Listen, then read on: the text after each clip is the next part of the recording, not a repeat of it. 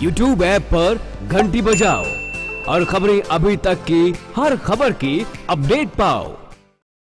और खबर अब हरियाणा से, जहाँ पर बल्लभगढ़ के पयाल गाँव में दो बच्चों की तालाब में डूबकर मौत होने का मामला सामने आया है।